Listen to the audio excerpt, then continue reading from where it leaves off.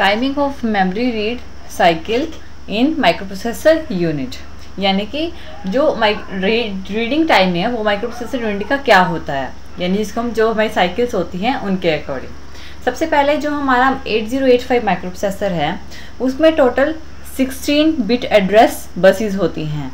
जी, एक टाइम में सिर्फ़ एक ही एड्रेस को हम फैच कर सकते हैं, यानी माइक्रो प्रोसेसर एक टाइम में एक ही एड्रेस को सिलेक्ट कर सकता है।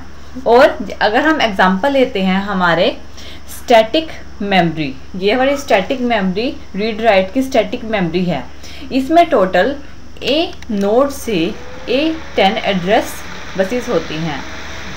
इसमें क्या होता है कि यानी ये जो होता है हमारा two zero four eight register होते हैं। और इसमें ये क्या कर सकता है कि ये हमारे लो ऑर्डर एड्रेस लाइंस को कनेक्ट कर सकता है। मैं अब हमारे माइक्रो प्रोसेसर की मेमोरी चिप के साथ। और ये जो इंटरनल डिकोड करता है हमारी मेमोरी चिप को, यानी इंटरनल डिकोडर होता है, इसके थ्रू हम एक पर्टिकुलर एड्रेस को फेच कर सकते हैं सिलेक्ट कर करवा सकते हैं और उसके बाद हमारा इनपुट और आउटपुट जो भी हमें एड्रेस चाहिए, उसके अकॉर्डिंग हम रीड राइट कर सकते हैं। अब हम देखते हैं कि हमारे रीड साइकिल की टाइमिंग क्या होती है। जो हमारी जो स्टैटिक मेमोरी थी उसमें हमने ए नोट से ए इलेवन बसेस के बारे में बात की थी। लेकिन जो हमारी जैसे हम हम जानते हैं कि माइक्रोप्रोसेसर में टोटल 16 एड्रेस बसेस होती हैं जो ए इलेवन से जो ए फिफ्टीन तक एड्रेस बसेस होती हैं वो हमारी आ, वो उन वो जो हमारी वो डिकोड करती हैं हमारी चिप सिलेक्टर्स को। यानी कि जनरेट करती है हमारे चिप सिलेक्टर के थ्रू यानी जो हमारी फ़र्स्ट साइकिल आती है फ़र्स्ट साइकिल में हमारा ए ए एट से ए फिफ्टीन एड्रेस बसेस में high high order memory address fetch होता है। और ए नोट से ए सेवन तक ए नोट से ए सेवन यानी लो ऑर्डर एड्रेस फैच होता है। और इसमें जो इनपुट आउटपुट मेमोरी है, इस टाइम पे जो हमारी इनपुट आउटपुट मेमोरी है मेमोरी हमारी लो एक्टिव लो होती है, क्योंकि रीड कर रहे हैं हम मेमोरी के थ्रू इस टाइम पे हमारी हमारी मेमोरी एक्टिव लो हो जाती है हाई से एक्टिव लो कंडीशन में आ जाती है।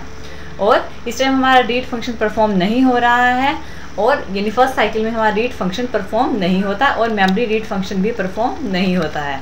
लेकिन सेकेंड साइकिल में हमारा डाटा फैच होना स्टार्ट हो जाता है। यहाँ पे हमारा सेकेंड साइकिल के के ड्यूरेशन में हमारा डाटा फैच होना स्टार्ट हो जाता है, जो मेमोरी से फैच होना।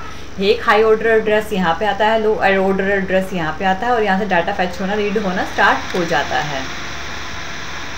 और इस तरह से हमारा ये जो रीड फ़ंक्शन है, वो भी परफॉर्म करना स्टार्ट कर देता है। यहाँ से हमारा रीड फ़ंक्शन जहाँ से हमारा फैच होता है, वहीं से हमारा रीड फ़ंक्शन परफॉर्म होना स्टार्ट हो जाता है। और आउटपुट पे भी हमारा मेमोरी रीड परफॉर्मेंस स्टार्ट हो जाती है।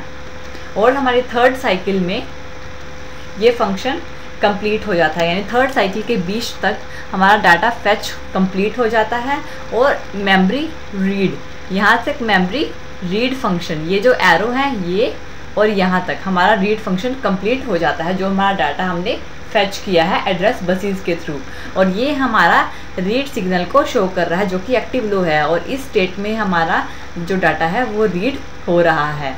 और आउटपुट पे हमारी मेमोरी रीड आ रही है. यानी जो हमने रीड किया है डाटा वो शो होता है. और इस तरह से हमारा जो माइक्रो प्रोसेसर है, वो रीड साइकिल जो तीन साइकिल्स में हमारे डाटा को रीड करता है। ये है हमारा timing of memory read cycle in micro processor unit thank you